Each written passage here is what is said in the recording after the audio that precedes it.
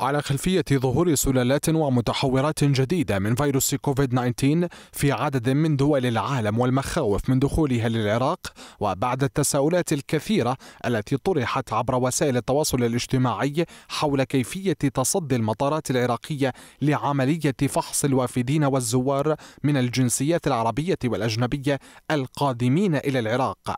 كشفت الكوادر الصحية في محافظة النجف أن منظومة فحص الوافدين العرب والأجانب في مطار النجف تعمل بدقة كبيرة وتجبي أموالها من قبل دوائر وزارة الصحة.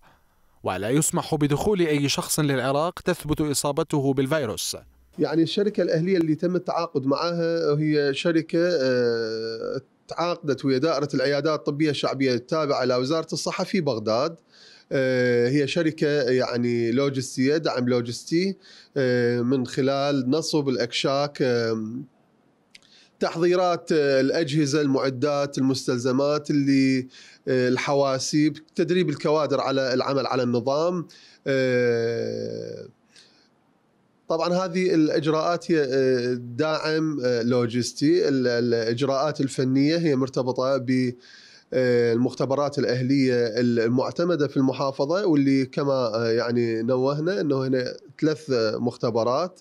مختبر الدلتا والنخبة ومختبر النجف. ومن الضرورة بمكان التأكيد على أن إدارة عملية الفحص بمطاري بغداد والنجف تعد كدرع حصين لحماية العراقيين من أي أوبئة انتقالية في ظل تصاعد حركة السفر حول العالم وخصوصا في شهري آب وأيلول حيث لا يقتصر عمل شركات الفحص على اكتشاف الفيروس بل تعمل أيضا على معرفة السلالة التي ينتمي لها.